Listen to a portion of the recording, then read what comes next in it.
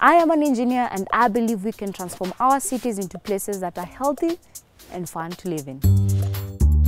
More than half of us live in cities these days, and they are often crowded. Air is dirty and it's hard to find decent housing. But it doesn't have to be like that. Here is the future we can achieve. Our buses and trains run on clean renewable energy, air pollution is no longer a matter of life and death, and it's much easier to walk and bike. Our buildings are resilient and energy efficient. They are made of green materials. And our cities are zero waste. We no longer send tons and tons of garbage to landfill or dump it in the oceans. Hmm.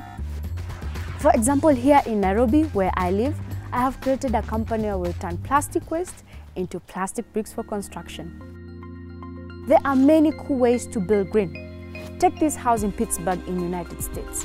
Its super thick insulation means it needs 90% less energy for heating and air conditioning. In Singapore, concrete neighborhoods are being interlaced with green spaces and that holds and filters water.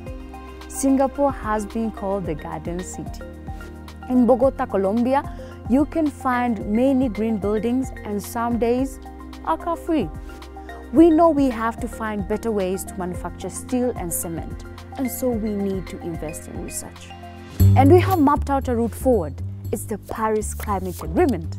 Almost 200 countries have signed on to stop the global warming from rising above 1.5 degrees Celsius.